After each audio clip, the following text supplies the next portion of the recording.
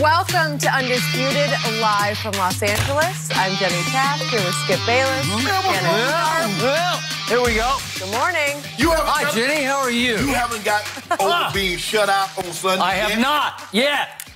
I'm going to take it out on my team today. Oh. I'm going to remotivate my team today. I mean, right now. At first, it was Tennessee. You hadn't gotten mm-hmm. over that Yeah. and then you had a, a worse loss on Sunday, and you haven't gotten over that one. If my robot coach can't motivate my team, I'm about to. Don't do this. I'm going to relight the fire. Jenny, how are you doing today? Yeah, you look nice yeah, with yeah. the turtle. Hey, look at Jenny. Yeah, look at you. Holidays. What do you do? Aud- Audition and be a State Farm agent? You can be in the Aaron Rodgers commercial like that, Oh, you- I see Look you. at that. Away. I see Yeah, you you can be one this. Gabriel.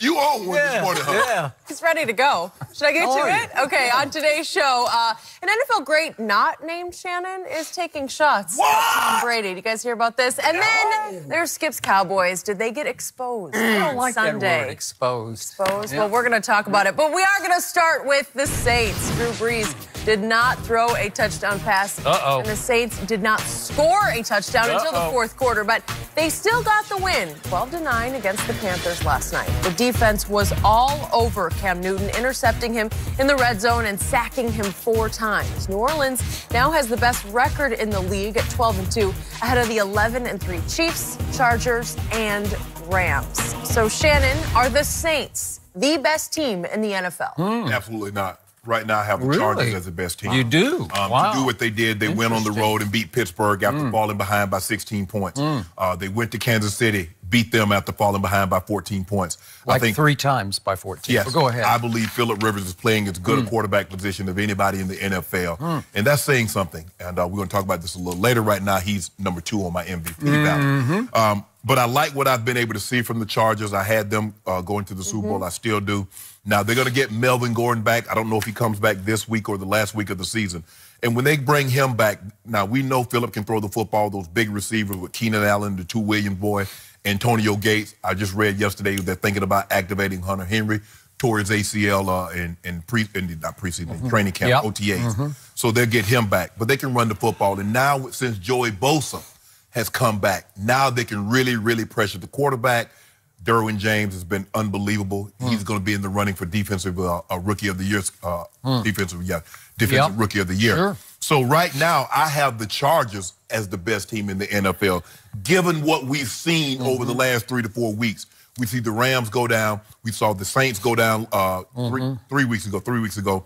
And since then, Skip, they haven't played well. You look at the numbers. Drew Brees over his last three games, 177 yards passing, two touchdowns, three interceptions. Mm-hmm. They scored 10 points against the Cowboys, mm-hmm. 12 points last night. And even though they got to, I think, 25 against Tampa, mm-hmm. that, those points came. 28, I think 20 it's 28 to 14, wasn't it? Go ahead. So yep. those points came late. They don't look like the same high flying, Yep. high powered offense do that, not. that we've seen over the first, you know, 11, 12 weeks of the season. And I think what has happened, Skip, is that teams have said, you know what? You really only have Michael Thomas at the wide receiver position. To play. I think they said that last night.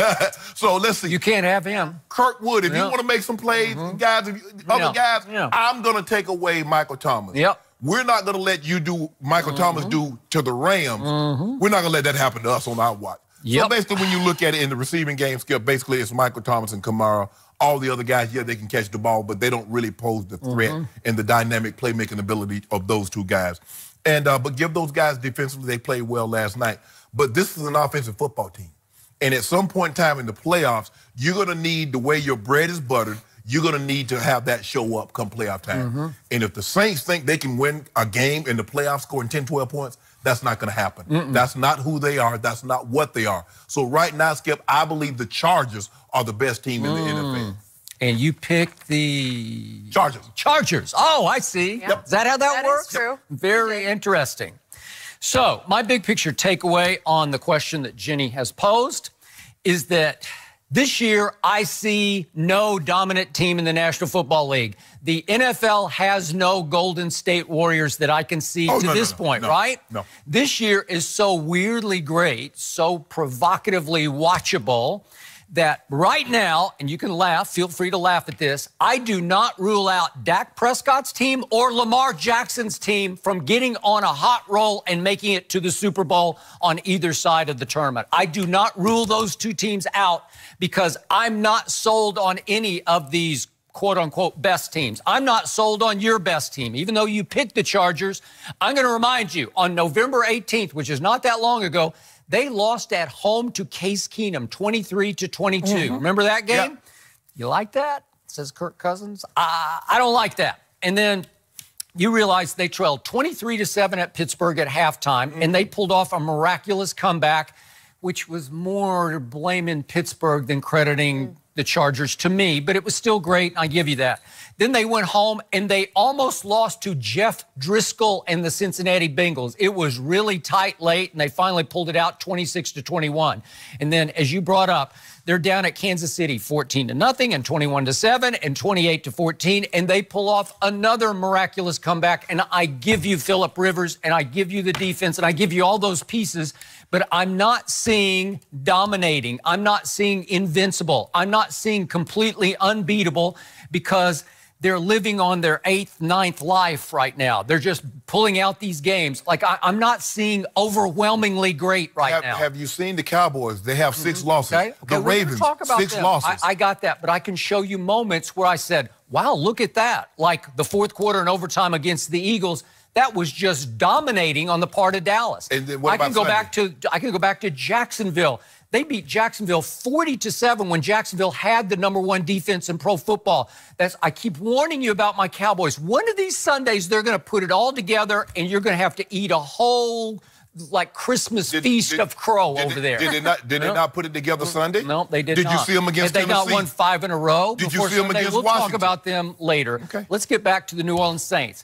I picked the Saints, and you shocked me by you picking the Saints before the year started to win the NFC. So mm-hmm. your your picks are actually it, it's it's a rarity. Better it's like than a, yours. It's like an aberration. Better it's than a yours. shock. Better than I yours. don't know. Are you really counting out Tom Brady? Because I'm not writing him completely off. I don't love their chances, but I, that guy is one guy I keep telling you I don't bet against. Well, I'm betting the ranch. Okay. Well, you we may have to bet some yeah, okay. Oh, ranch full of diet dew on that before this thing is okay. over. But again, we both picked New Orleans. But do I feel nearly as convicted about it as I did before the year started? I, I just do not because you made all the case since Dallas did that 13 to right. 10 number on Drew Brees. By the way, Dallas did win that game on a big Thursday night stage. I don't know how they did it, but they did. But since then, this team lost its mojo and its way. Now, it had to play three straight road games. But the, the defense, I got to say, played way better than the offense did on the road because they, they, again, they let Dallas score the grand total of 13, then they gave up 14, and then they last night they gave up nine. So their, their defense is actually playing at a pretty high level. Yeah. They rank seventh overall in points allowed. So, so that'll work. That. But Drew Brees, I, I, I, don't recognize him the last three weeks. Do you? Ah. Okay. All right. Well, I'm just saying. I know you're going to buy into that, but I'm I'm just saying. Do they look invincible to you? They did for a while to me. Home and road, they looked yeah. invincible. Before they got to Dallas, okay? they did look All invincible. Right. So guess who visits this Sunday in the late afternoon game? Pittsburgh Steelers. Mm-hmm. Is it possible that their breakthrough against New England will give them a springboard to New Orleans? Is it possible that they would outgun Drew Brees on his home turf when he's lost a little confidence and you now have the blueprint for how to stop their offense? Yeah. Is it, it possible? It's possible. Okay, they're going to open up like six and a half, seven point underdogs at New Orleans. But do I really trust Drew Brees and company? I don't know. I'm not, I haven't seen firepower. I haven't seen explosive. And to your point, once you take that one receiver away, really? Hmm. Is Benjamin Watson enough to get you home? Are they invincible? Could, could I see Dallas going to New Orleans and winning a playoff game? You better believe I could because they definitely they they invented the blueprint. They they drew it up to start with. But they Skip, match up. You, you keep Orleans. talking about Dallas and their five game winning streak. Every game that they won by was about one possession. So you can't feel good about okay. that. All right, like like in one game, we're gonna we're gonna go into this deeply here pretty soon. But but in the one game, the second game against Philly at Jerry World, they were awful and they were leaning toward more toward the dominating rate. But here's the thing that happens to you in the playoffs: if you're ever awful early, mm-hmm. you get blown out. Okay, the game's over. The momentum swells so quickly that you get don't get a chance to be great late. Hmm. Although my quarterback Dak Prescott in his very first rookie year playoff game fell behind 21 to 3 at home and then what happened? They lost. They didn't lose. They tied. They lost. But they got all the way back to a tie game. Am they, I right? it was 31 all. How do you do that? Well, you just made a case. If you get behind early, you're dead in the playoffs. My team was not dead because my quarterback threw a party but, on Green Bay's defense. Really? He threw for 303 touchdowns. But here's the thing. That's my quarterback Skip. who can't throw. Skip you were at home. Hmm. You're going to be on the road if you face New Orleans. Hmm. So let me get this straight. You